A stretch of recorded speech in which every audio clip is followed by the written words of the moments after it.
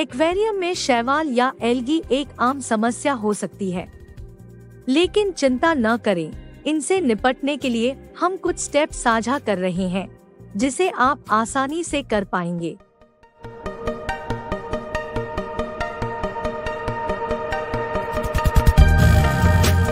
Step एक, आप अपने एक्वेरियम से एल्गी को खुद से हटाने के लिए एक साफ़ टूथब्रश या एक विशेष एलगी ब्रश का उपयोग कर सकते हैं।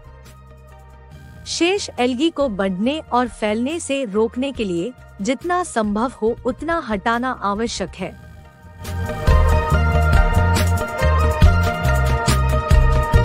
स्टेप दो। अपशिष्ट या सबस्ट्रेट को साइफन करें और पानी को बदलें। एलगी पानी में पोषक तत्वों की अधिकता के कारण हो सकता है। सबस्ट्रेट को साइफन करना और पानी को बदलना पोषक तत्वों की मात्रा को कम करने में मदद कर सकता है।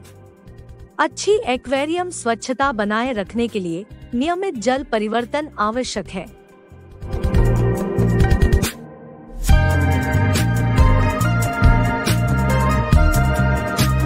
स्टेप तीन। एल्गी तेज रोशनी में पनपते हैं, इसलिए अपने एक्वेरियम में रोशनी कम करने से इसे कम बढ़ने में मदद मिल सकती है। आप अपने एक्वेरियम की रोशनी के समय को कम करने या डिमर स्विच का उपयोग करने का प्रयास कर सकते हैं। स्टेप चार। एल्गी को खाने वाली मछलियों या जानवरों को शामिल करें। ऑक्टोसिनक्लस कैटफिश, अमानो झींगा और सियामी एल्गी खाने वाले कुछ मछली और क्रस्टेशियन हैं जो शैवाल का सेवन करने के लिए जाने जाते हैं। इन्हें अपने एक्वेरियम में शामिल करने से एल्गी के विकास को नियंत्रित करने में मदद मिल सकती है।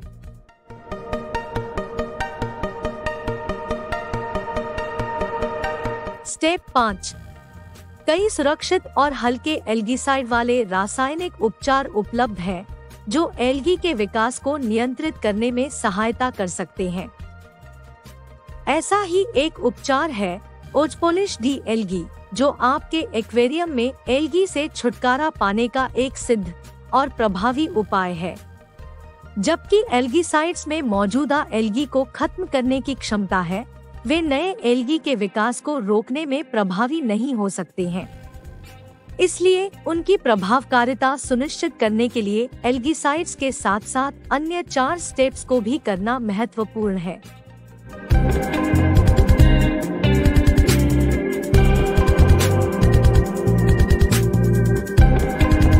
ऑस्पोलिश डी एल्गी एक सुरक्षित और प्रभावी समाधान है, जब निर्देश अनुसार उपयोग किया जाता है और ओवरडोज नहीं किया जाता है।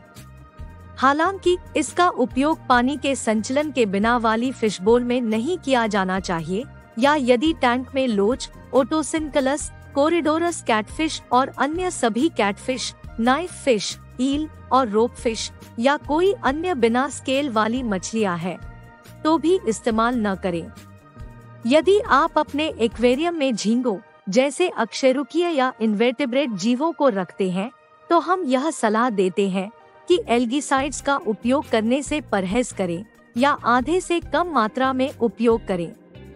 इसके अलावा यह अनुशंसा की जाती है कि एल्गीसाइड को फ़िल्टर आउटलेट के पास डालें और इसे शुद्ध पानी के साथ इसकी मात्रा का 10 गुना पतला करने के बाद इस्तेमाल करें।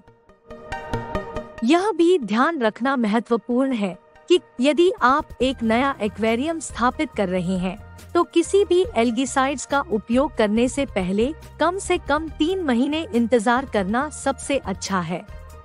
यह इकोसिस्टम को खुद को स्थापित करने और एल्गीसाइड के पानी में अचानक जाने से किसी भी संभावित व्यवधान के खिलाफ अधिक स्थिर होने का समय देगा।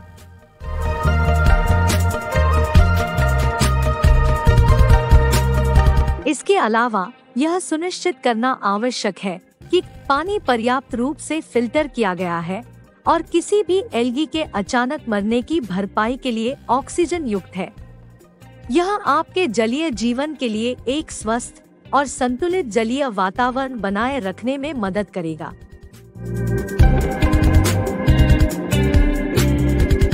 एल्गी आमतौर पर क्षारीय या एल्कलाइन वातावरण में 8.2 और 8.7 के बीच पीएच वाले पानी में अच्छे से पनपता है। ऑस्पोलिश H2O जैसे विशिष्ट इनपुट से पानी की क्षारियता को कम किया जा सकता है। यह हमारे पिछले वीडियो में से एक में कवर किया गया था।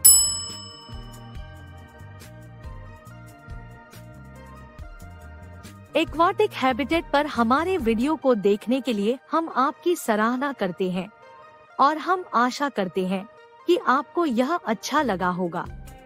यदि आपको मछली पालन पर हमारे ट्यूटोरियल वीडियोस जानकारी पूर्ण और आकर्षक लगते हैं तो हम आपसे अनुरोध करते हैं कि आप हमारे चैनल को लाइक, शेयर और सब्सक्राइब करके हमारा समर्थन करें।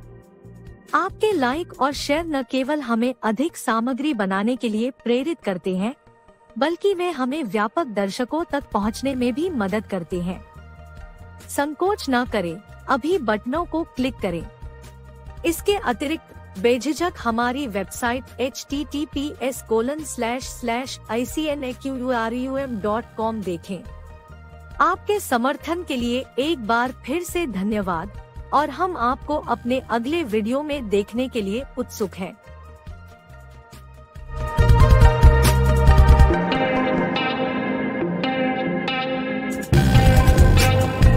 एलगी से छुटकारा पाना इसके विकास को रोकने से ज़्यादा आसान है इसीलिए ऑस्पोलिश डी एल्गी जैसे मानक समाधानों का उपयोग खारे पानी सहित सभी प्रकार के एक्वेरियम के पानी में एल्गी के उपचार में प्रभावी हो सकता है। यह सुनिश्चित करने के लिए कि हमें सर्वोत्तम संभव परिणाम मिले। यह महत्वपूर्ण है कि हम इस वीडियो में शामिल निर्देशों का ध्यान पूर्वक पालन कर रहे हैं। यह निश्चित रूप से आपके लाभ के लिए हो, क्योंकि अंततः आपके पास एक ऐसा फ़िश टैंक होगा, जो साफ़ और सुंदर दिखता हो। और जिसे देख आप प्रसन्न होंगे।